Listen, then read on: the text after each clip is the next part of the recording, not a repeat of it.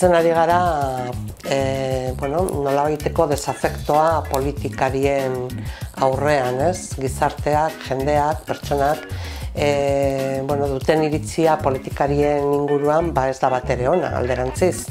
Eta niretzat hori oso, bueno, ulergarria da, ulergarria da, zeren egiten ari diren politikak eta egiteko erak e, gobernuetan egon diren alderdi gehienak, ba, berdintxuak izan dira, ez? Eta gainera ez dute albideratu inolako e, parte hartzea eta ez da ere ez da egon gardentasuna gaietan, ez?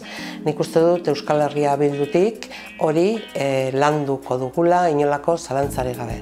Parte hartzea, gardentasuna, e, ustelkeri eza eta politika egiteko beste erabat eta beste politika batzuk posible direla egitea.